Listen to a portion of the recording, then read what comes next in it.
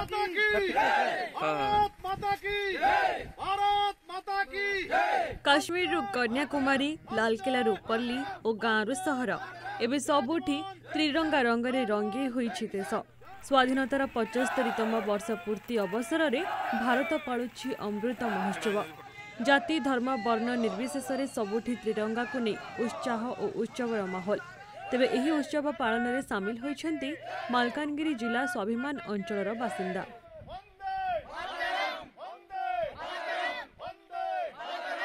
ସ୍ୱାଭିମାନ ଅଞ୍ଚଳ ଦାରଲବେଡ଼ା ଗାଁରେ ଥିବା ମାଓ ଶହୀଦ ସ୍ତମ୍ଭ ଉପରେ ଫରଫର ହୋଇ ଉଡ଼ିଲା ତ୍ରିରଙ୍ଗା।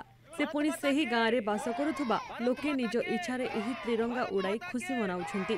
ତେବେ ଯେଉଁ ଅଞ୍ଚଳରେ ଦିନେ ଲାଲ ବାହିନୀର ଆତଙ୍କ ମଧ୍ୟରେ ଉଡ଼ୁଥିଲା ମାଓବାଦୀଙ୍କ ପତାକା ଆଜି ସେହି ଅଞ୍ଚଳରେ ଉଡ଼ୁଛି ତ୍ରିରଙ୍ଗା। ଶୁଭୁଛି ଭାରତ ମାତା କି ଜୟ ଓ ଜୟ ଯବାନ ଜୟ କିଷାନର ଧ୍ୱନି। ମାଓଗଡ଼ରୁ ଦେଶଭକ୍ତିର ଏ ଦୃଶ୍ୟ ଦେଖି ଆଜି ସତରେ ଛାତି ଗର୍ବରେ ଫୁଲି ଉଠୁଛି। Bureau report Zee media.